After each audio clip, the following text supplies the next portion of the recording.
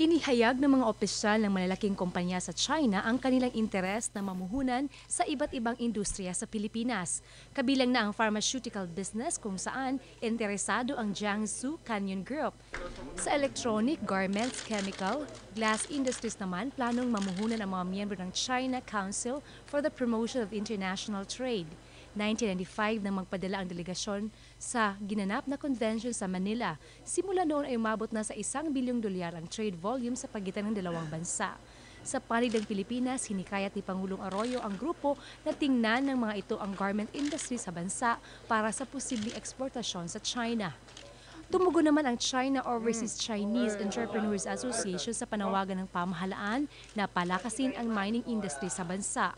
Bilang panglima sa may pinakamalaking mining resource sa mundo, kailangan ay ng Pangulo ng mga mamumuhunan para dito. Sa naturang pulong din, inihayag ng mga negosyante ang planong pagpapatayo ng isang resort para naman sa mga turista na manggagaling sa Shanghai, China. Kasabay nito ay pinarating din ng grupo ang kanilang kahilingan na malagdagan ang flights mula Shanghai patungong Manila. Isang environment-friendly at cost-efficient na pampasahirong jeepney naman ang nais ibenta sa Pilipinas ng Shandong Green Tech Electric Company. Sa ngayon, mayroon ng sampung electric-operated jeep ang ginagawa ng kumpanya at nakatatang export sa Pilipinas. Nais din nilang magtayo ng planta para sa automobile parts and components. Nagkaroon din ng pagkakataon na makaharap ng CP Business Group ng Thailand si Pangulong Arroyo. Ang CP ang pinakamalaking aquaculture company sa buong mundo. Inihayag ng grupo ang interes na pasukin naman ang livestock at aqua industry sa Pilipinas, partikular na ang shrimp production.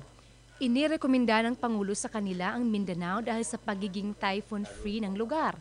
Ang Luzon naman din ayon sa Pangulo ang magandang lugar para sa swine production dahil sa foot and mouth disease free ito. Samantala, napili ng kumpanyang Wahaha Group Company Limited ang Pilipinas para sa expansion market nito ng iba't ibang inumin. Ipinaabot ng grupo kay Pangulong Arroyo ang interes na magtayo ng planta para sa juice and tropical fruit drinks. Ang grupo naman ng Geely Cars Company Limited ay nakatagdang magbenta ng brand new affordable na mga sasakyan.